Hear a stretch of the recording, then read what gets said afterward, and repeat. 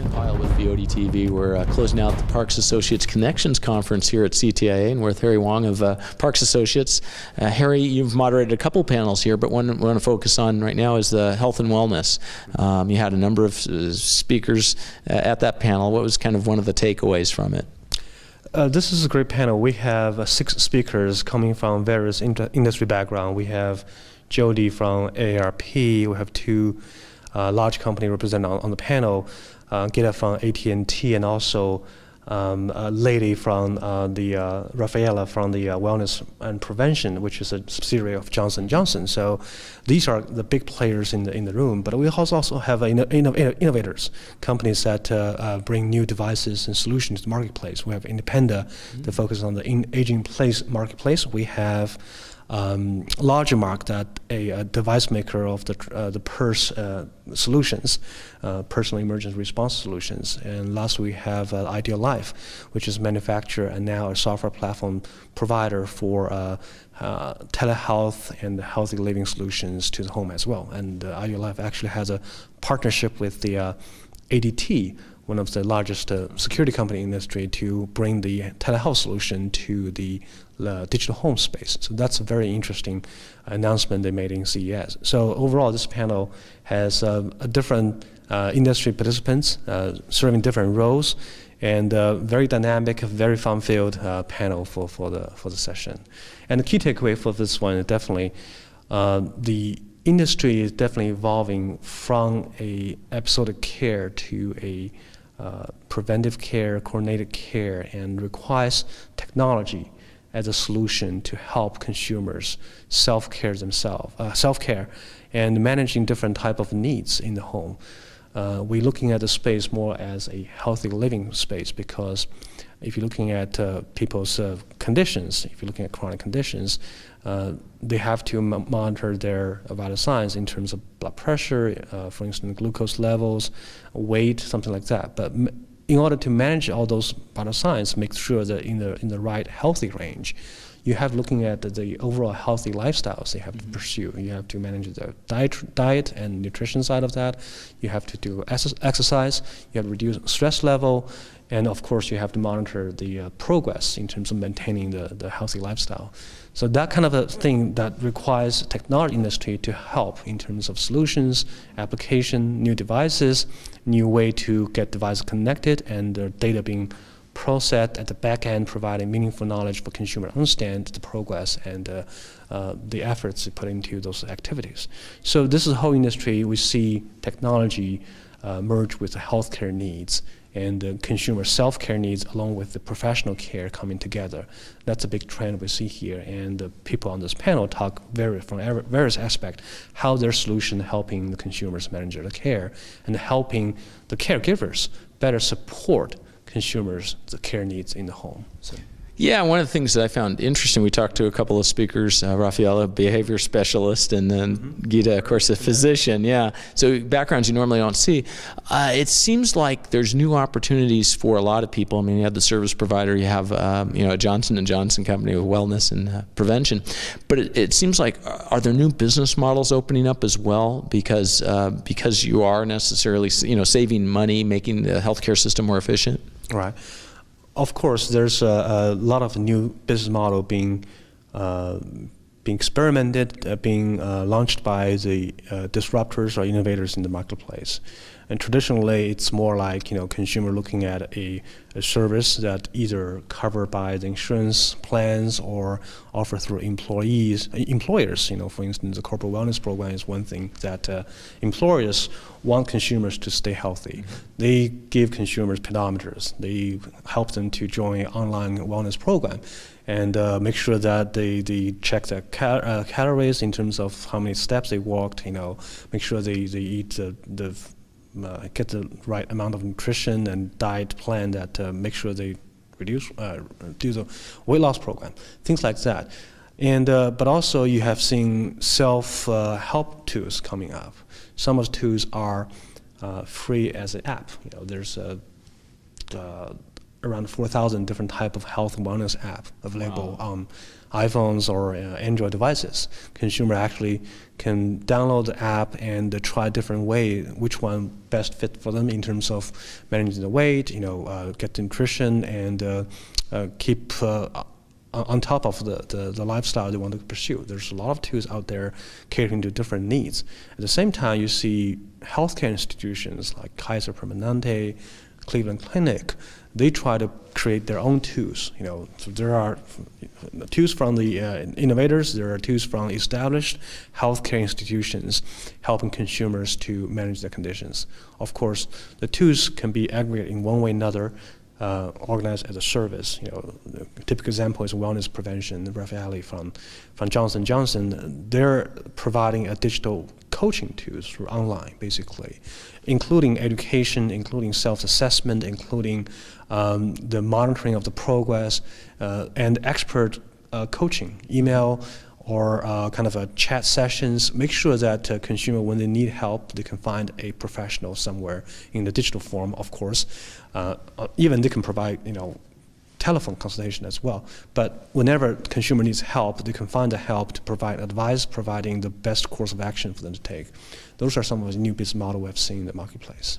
Well, one of the things that uh, struck me was the whole idea of uh, moving beyond the aging in place type application.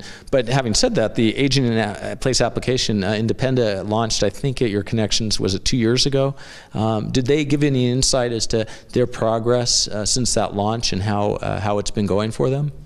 Uh, that's interesting question. The aging plays uh, it's a very broad category, right? If you're looking at seniors, especially people uh, in the early boomer stage, you know, the, the, baby boomers that in the in the early 50s and late 50s, and then the true senior population, 65 beyond, uh, they definitely have the needs to uh, want to age gracefully in their own home to pursue the independence, and uh, organization like AARP definitely is trying to promote that kind of uh, environment for them. And the solution provider like Independa, uh, even Ideal Life and LogicMark, they're trying to provide solution for them. Uh, there's a huge interest in terms of uh, leveraging the PERS platform, the personal emergency response, uh, not as a service, single service, but as a, as a platform to offer a variety of uh, services that uh, helping seniors living better. You know, tracking behaviors, tracking the uh, medication reminders, and uh, we see that from larger market perspective, and, and from Independa perspective they initially uh, two years ago they have this uh, Angela platform. Basically, it's our tablet solutions. Mm-hmm. Um, they have a very nice software uh, user interface, uh, and uh, the key two areas of their focus at that point is definitely looking at uh, medication reminders. That's one thing that very pertinent to the seniors' needs, and also bring the the good memories back to the seniors, so mm-hmm. that you know the, the, you know the, the, recorded messages or you know the pictures like that. I think it's very pertinent to the needs. The, he, uh, Kian from Independa mentioned that it's not about the aging part of it. It's about relishing the uh, the good years and uh, looking forward to the golden years of their life. Mm-hmm. Uh, and, and, that kind of a mindset to make the aging place uh, solutions more appealing to this population.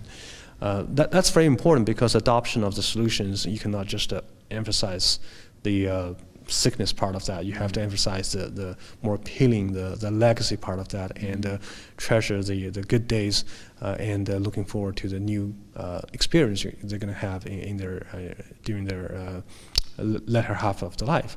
So solution like that, you know, but Independa definitely pivoting from two years ago. Okay. Right. You know, they are migrating from just a hardware solution, but they're trying to provide a software platform that integrating other players. You have seen Independa working with uh, actually Ideal Life. So Ideal Life can be is a, as a partner for, for Independa as well. You know, so Independa can integrate Ideal Life solutions, and Ideal Life can incorporate Independa solution into their platforms. So there's a collaboration between uh, different solution providers, and uh, with that they can add in functions, for instance, telehealth monitoring, uh, you know, even medication uh, monitoring as well, mm-hmm. and, instead of just uh, reminders. So you'll see kind of a mashup between different solutions aging place. The goal is definitely to provide with a easier uh, user interface and uh, with the services or solution, the design, and the best of all to don't get them into the technical setup process. All the uh, functions and features are somehow automated and uh, with minimum uh, human interaction with that. That's the goal for the aging place solution offered by a company like Independa and uh, other solution providers on the panel. Well, it seems like that would be a common theme of it is, is improving the quality of life or improving quality of medical care or whatever it is. It was yeah. making things more efficient and better. Yeah, exactly. Uh, the, the industry realized that uh, we're not talking about single disease conditions. We're not talking about single age-related conditions, Alzheimer's, for instance, you know, like that. But it's more like how can we drive consumers' uh, understanding of uh, taking care of themselves as a whole, uh, help them living better, healthier, happier. And that will be the motivation for people looking at technology and adopting that. Along the way, uh, we solve a lot of problems. If you keep consumer motivated to uh, reduce their weight. You know, that can solve a lot of problems in terms of chronic conditions, right? If you motivate consumers to taking care of themselves, understanding uh, how they live, how they sleep, how they handle stress in the way that in one way long-term consequently you will see reduce of the uh, spending on different type of professional care. So that's the kind of a wholesale change or the mega trends. And uh, some of the speaker on the panel mentioned about the care model um, changes especially uh, accountable care, uh, affordable care, affordable care act. You know, Jody, you know, from AARP mentioned, hey, affordable care is in place. Don't try to turn history back. There's no turning back anymore. Mm-hmm. And it was the new care model coming to to the American, more addressing uh, the emphasizing the accountable aspect of that. Mm -hmm. The care professional will become more accountable to the overall well-being of the patient instead of just uh, what's happening in the hospital, in the doctor's offices. So there's a great change in, term, in, in the way in terms of having consumers um, managed by a care professional, not only in office, in hospital, but also, also in the home. There will be a coach helping consumers along the way. Uh, helping them not only on condition-specific uh, needs, but also on the overall well-being of the consumers. And we, we're actually projecting that that's going to be a big driver for adoption of the uh, either telecare or telehealth solutions vendors. We published a report recently on, on, the, on the accountable care organization's impact, the, the, new care model on the telehealth and home health monitoring market, and definitely we see that as physicians, hospitals, and even nursing homes began to become part of the accountable care organization, uh, there's a need to adopt technologies, using technology to manage patients in their homes. And that will be the big driver for the technology industry, especially uh, the tools helping consumers manage their care. And uh, that will be a huge industry uh, incentive and, uh, and, a driver for, the, for that uh, technology industry going forward. Well, Harry, appreciate your insight and your time as always, and look forward to our, our next meeting. Great. Thank you.